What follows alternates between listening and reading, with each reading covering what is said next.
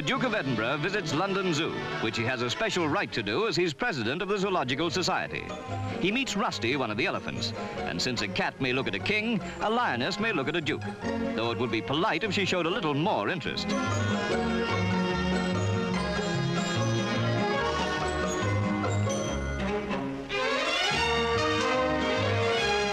The Duke inspects the chimpanzees, and the chimpanzees return the compliment. And then he moves on to see the new feeding device, which prevents the seals from getting middle age spread.